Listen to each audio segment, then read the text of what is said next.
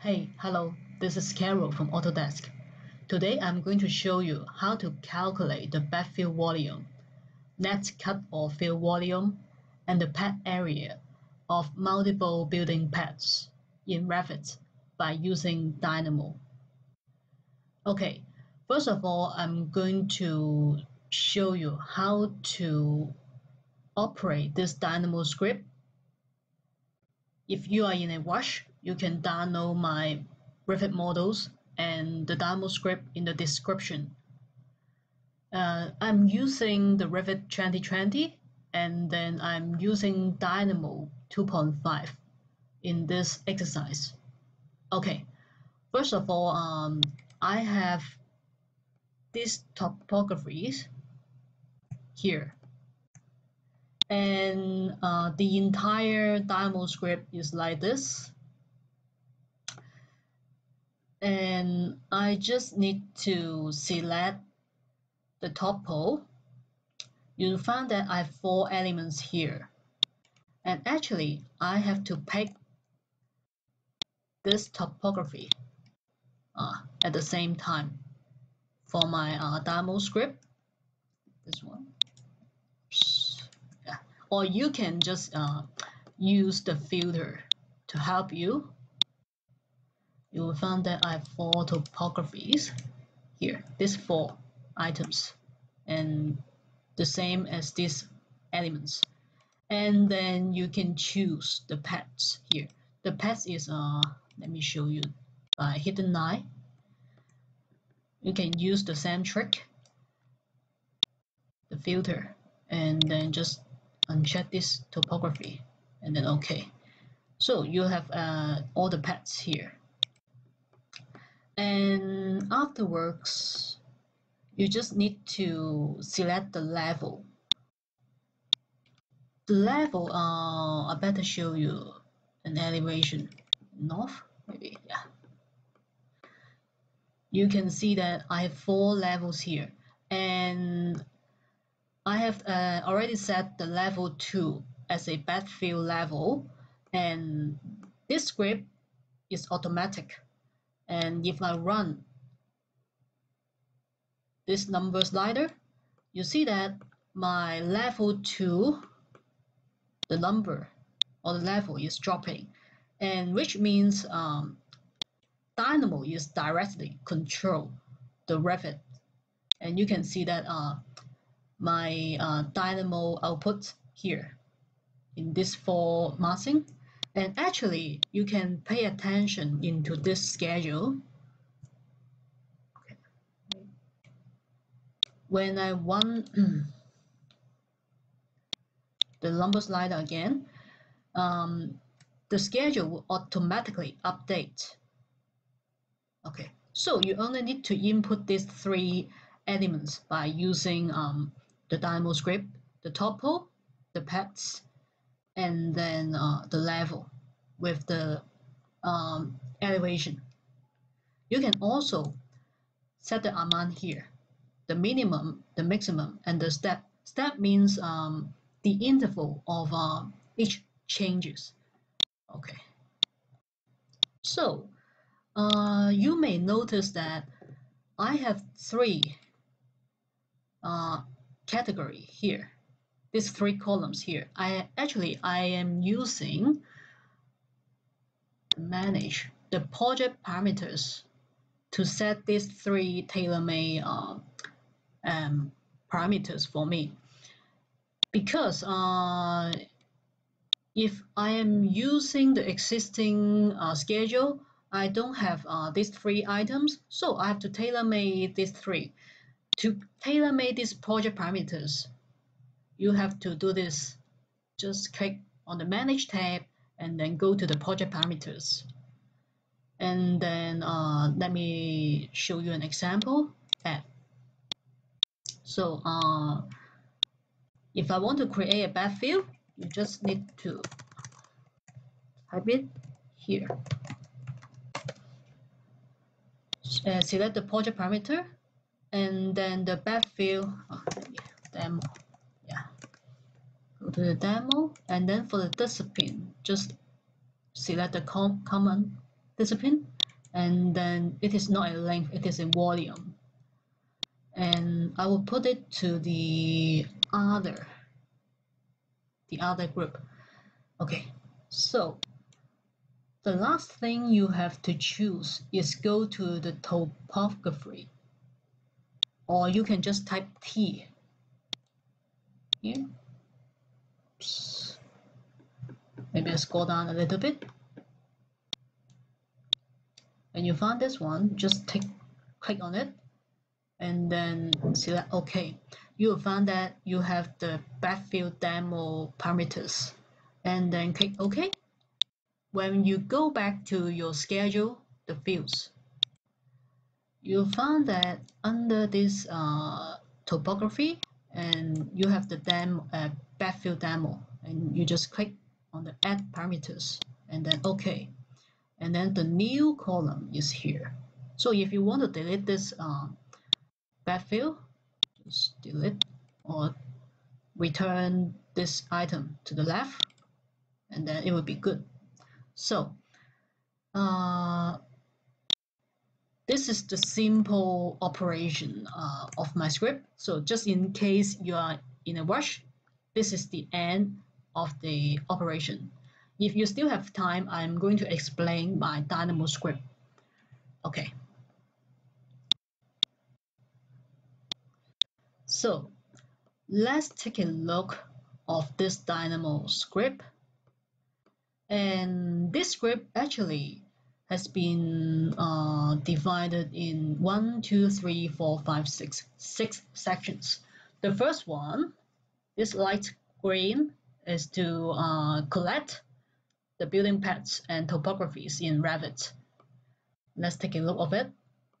So you just need to select, uh, use the select model elements, and then you can always change the name like this. Uh, for myself, uh, I always keep the original uh, name of the Dynamo uh, node, and then I just add the extra name here, hyphen topo, and accept. And this is the same for the select model elements pads. And then after I have uh, used this for the pads, because um, uh, every pad, just like uh, a box, it has six faces. So I have to choose the top faces, the top faces of uh, this pad. You find that um, I have a lot of faces in this four in this four uh, solid and actually I have used some Python script. This Python uh, which is a very simple uh, Python script. So you can just copy like this one uh, from operator import item getter. Item getter um, or the operator is the Python library. So you don't need to care about it if you don't know Python. And then you see that I have uh, the line 3 and 4 is some uh, comment for myself or for the others to understand my concept of this script. L1 is the list of all slabs and then the S1 indicates the specific face of a slab. Okay, then the line 8 is get specific faces from all slabs Okay, so these two, uh, the number 5 and 6 is the variables of my script. And then the faces, the line, line, faces equal to map.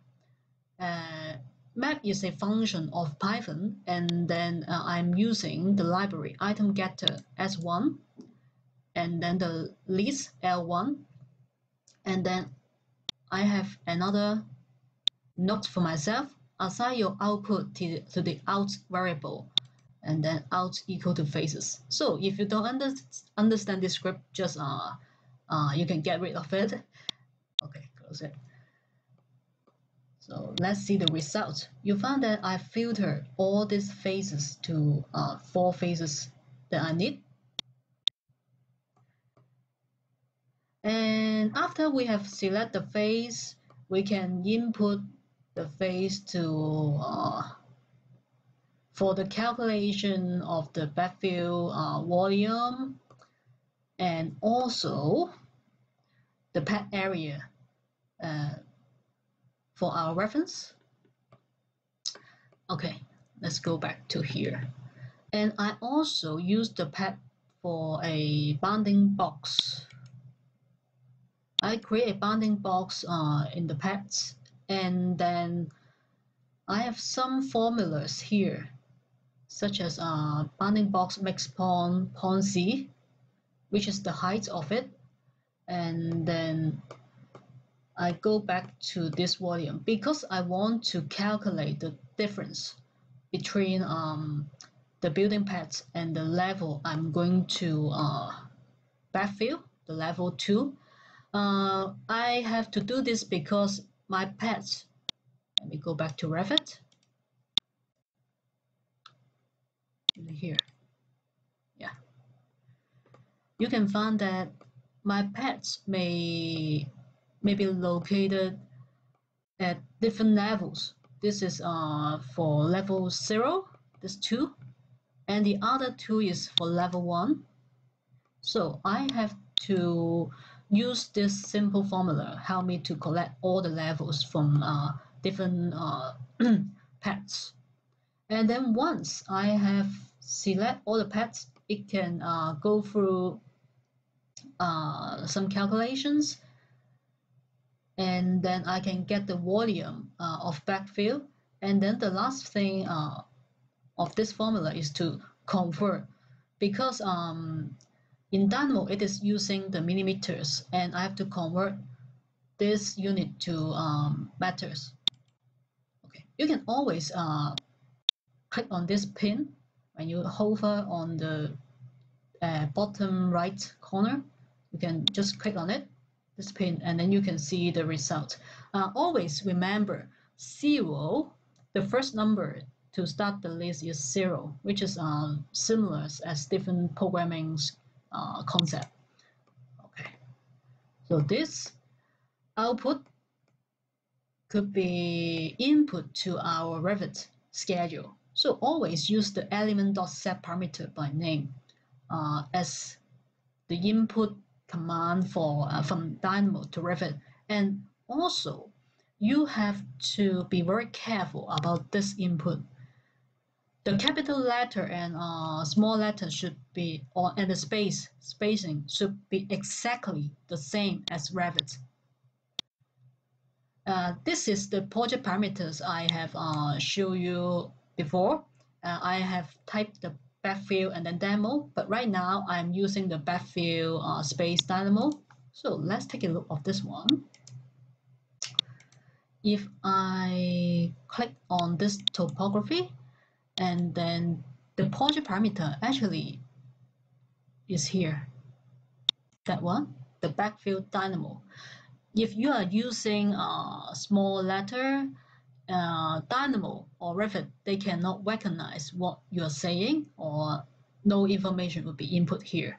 So when you have successfully uh,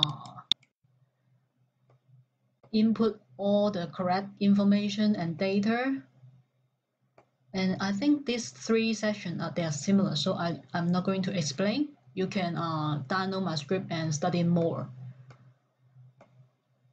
So maybe a little bit more explanation here. And this is the level. We, we can uh, select the level here and it will automatically collect all the Revit levels uh, by Dynamo. So we can just select it. And then the same, which is the same as uh, the schedule output, we have to use the elevation as the parameter name because let's go back to the level. When I click on this level 2 uh, you can find that we have the parameter name elevation and Dynamo is going to change the value here automatically. Okay so I think this is uh, a very simple and straightforward uh, script for you to use so uh, today, uh, this is the end of the tutorial. Thank you.